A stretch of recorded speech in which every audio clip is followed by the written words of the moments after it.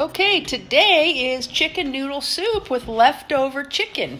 So last night we had chicken that I cooked in the pressure cooker to make chicken tacos. So I have a bowl of chopped up chicken, uh, celery, diced onion, garlic, parsley, salt, pepper, chicken stock, and cream cheese. So the first thing I'm going to do is I'm going to put my burner on about medium here shake my container of chicken stock and add this to the pan.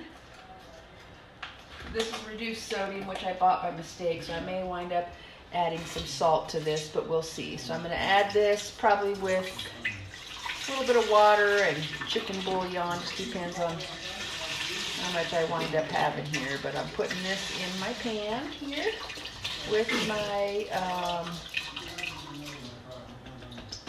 think I have a frozen chicken stock in the freezer too. I'm not sure. A little bit of garlic, kind of just to taste. Sprinkle some in there. Okay, and then I'm gonna let this heat up a little bit. Add my cream cheese to it. Usually I add a whole, a whole package of cream cheese. Today I'll probably just use three quarters of it because I'm not making a ton like I often will. So I'm going to put three quarters of this cream cheese in this chicken stock right here that I have already kind of cut up. And as it heats up, I'll use my wire whisk to try to blend it together. So here's what it looks like in there. I'm to set this aside because I may need this in a little bit. So right now, that's all I'm going to do is I'm going to add that, let it come up to temperature and simmer a little bit and use my wire whisk to blend it in. As I'm looking, I'm thinking I need some more chicken stock in there. So I'm to see if I have one in the freezer that's partially frozen, which I might, and if I do, I'll use that.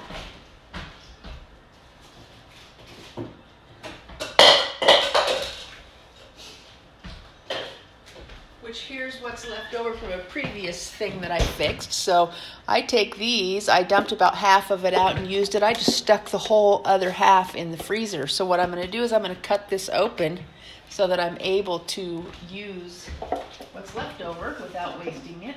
I'm to get my glass cutting board here because I don't want to make to ruin my countertop. I'm just going to cut through here enough so that I can open this and get the chicken stock out. It's a whole brick frozen chicken stock in here. So we're going to cut this apart. Waste not, not. So here it is.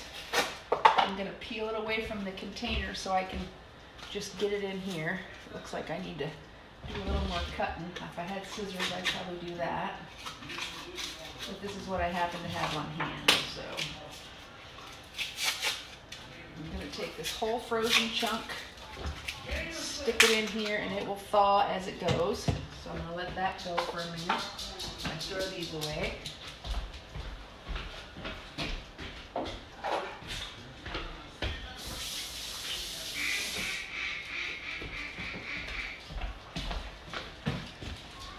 And I'm going to pause and I'll be back after when I'm ready to add the chicken and celery after I get the um, cream cheese blended all together. So right here's what I have so far. It's my iced chicken stock, my fresh chicken stock out of the container with the cream cheese on medium.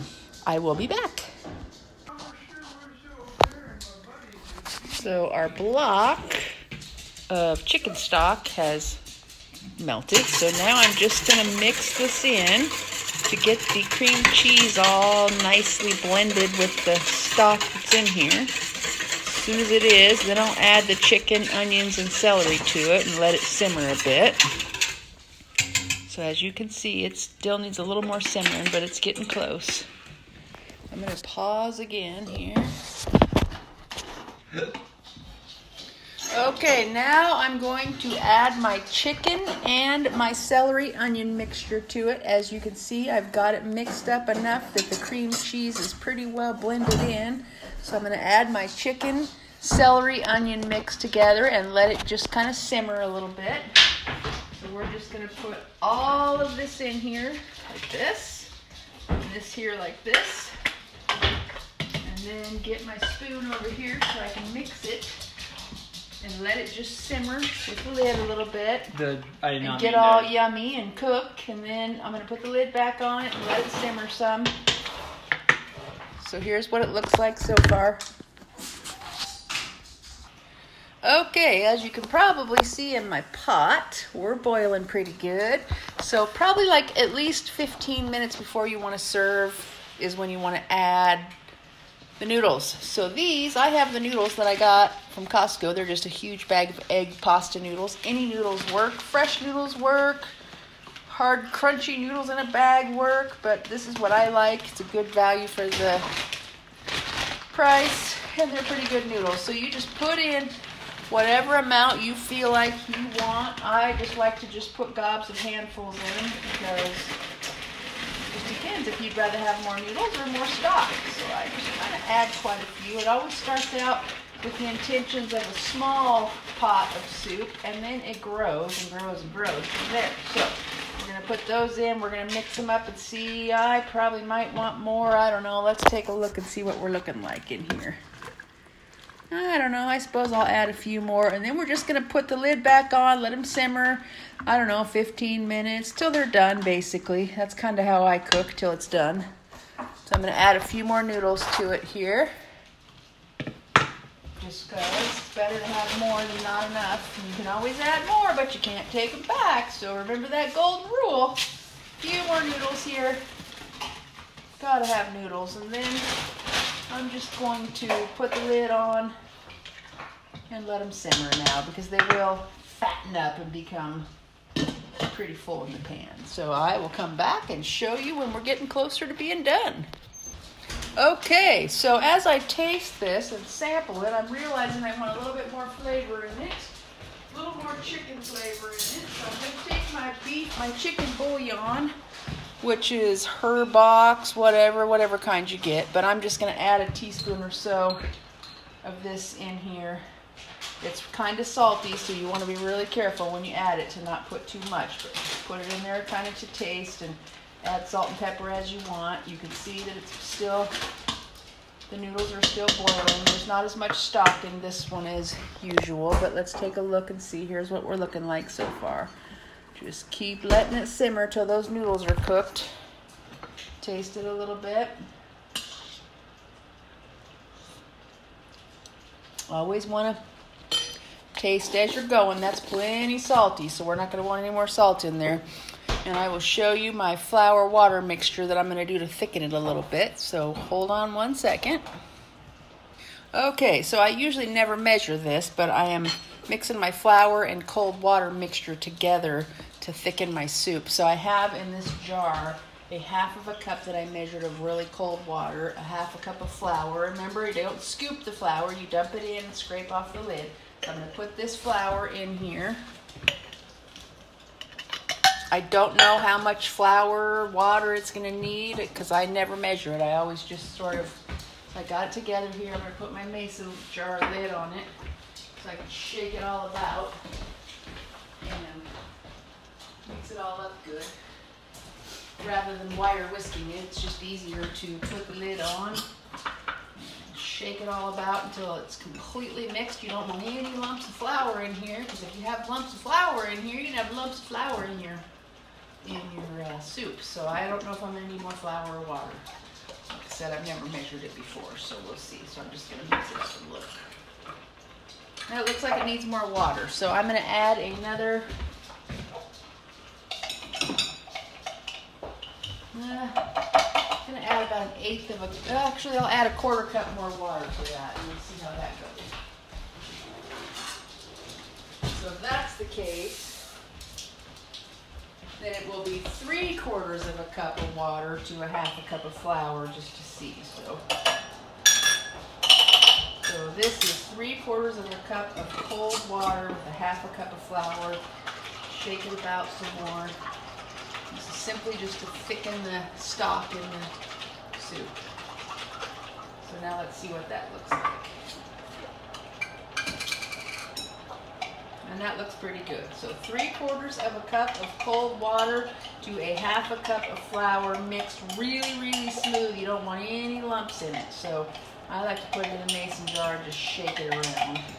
And when we're ready for it, we'll have it and we'll be ready to dump it in there. So just shake it all you want. Okay. Okay, it's time to add the thickener to the soup. So it's been simmering and kind of boiling long enough so that I know that the noodles are cooked. Please excuse the orange person in there, he got in my way. Um, but I have my pint jar. It has three quarters of a cup of water, half a cup of flour. I set it down on the counter because I was waiting. So just remember, no matter what, mix, stir it up constantly. You don't want any lumps in there at all. So just continue shaking it up just before you use it. And when you do get ready to use it, as you're adding it to the boiling liquid, you want to stir constantly because if you don't, you could get some more lumps. So we're just going to dump this in here and just mix continually so it thickens our stock for us. You just kind of add until you get the thickness that you want. Some people like it thicker, some people like more, um, more juice instead of thickness. So it's kind of up to whatever you decide you want. Dad kind of likes it a little bit thicker, so I tend to put a little bit more. So you don't, you may not use all this, but then you may need to mix more. So we'll just see what happens. Right now, here's what I have so far. It's getting pretty thick. So it's looking pretty good when you get the stock out and see it's getting pretty thick. The noodles are done, the celery's soft. As long as this is shaken really, really well and mixed really good so there's no lumps in it at all, it'll be fine. Never want to add flour directly to your hot pot because if you do, you're going to wind up with big flour balls, and that's bad, bad, bad. That's yucky, yucky, yucky. You would do the same thing if you were thickening stock, like if you had, like if you cooked your prime rib and you had the drippings and the, the beef stock, you would take the mixture of water and flour. So there again, it's three quarters of a cup of water and a half a cup of, of flour. So three quarters of a cup of cold water half a cup of flour. This is thick enough for what I want, I think. So I'm not going to use the rest of this. We're just going to stir it up here, make sure it's all mixed good. And the yumminess. Taste it to see if you want more salt, more stock, more garlic, whatever you want. It's kind of your personal preference what you want as far as flavor goes. But here's what we have. Nice pot of chicken noodle soup and it is ready to serve. So enjoy.